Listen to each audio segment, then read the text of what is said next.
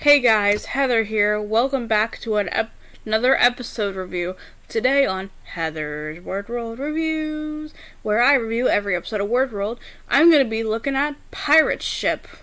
I'm going to be honest when I because I want to do this review, but I actually had an opinion change on this episode to be honest. At first I gave it like a 7 out of 10 cuz honestly cuz um there wasn't really a lot of potential when I first watched it, but then I gave it another rewatch and realized I was so wrong about the episode. So I now get so um wait till the end and I'll give you my final ranking. Anywho, um let's continue on with the review. Um so uh, today we're looking at Pirate Ship. So this episode is was actually pretty good um, after watching it the second time. Um, the um, synopsis is Sheep, Shark, and Duck go on a pirate adventure to look for treasure and follow the rhyming clues. Okay, so let me explain the plot. At the beach, Sheep reads a reads to Shark and Duck a book about pirates from which Duck takes interest in a pirate ship.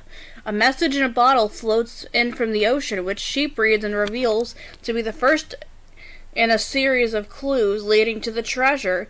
The clues are presented as rhymes, in which one must guess the last word to fit the rhyme. For each one, Duck excitedly guesses ship, only to be told that that does not rhyme, while Shark comes up with a more fitting word. The first clue says that the key is hidden across the sea in the tallest of something that has leaves and rhymes with key. Shark guesses tree, so Sheep looks through the telescope and sees trees on Mystery Island. Shark swims there with Duck and Sheep on his back. Then Duck flies up to search for the tallest tree and gets the key. He also finds the next clue, which says to cross the sea again and knock on a part of a lighthouse that rhymes with more, which turns out to be door. Through her telescope, if she finds a lighthouse on another island, once they arrive, Duck knocks twice on its door in accordance with the clue, which opens to reveal a treasure chest. They open it to find treasure, dress up clothes for sheep, lollipops for shark, and some letters, which Duck honestly was not happy about, to be honest. But it was, but the letters actually did become useful. And one more clue: the clue says to sail home in something that rhymes with trip. And then they build a, the word with the letters Duck has to make a ship. And Duck's guess of of ship turns out to be right. So the three use the letters and build the word ship. Then they sail home with the treasure. Okay, so my final thoughts. I'm gonna be honest. I don't know. I really did think I was wrong when I first watched this episode and given it a 7 out of 10, saying that I didn't really like it because because of the way Duck was treated in this episode.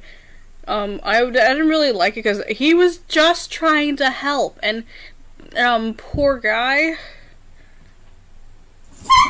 So I anyway, so I rewatched it and realized his the letters didn't come in useful, and they made a pirate ship and they sailed away. So I thought this episode was pretty good. My favorite part has got to be where everyone finds their treasure.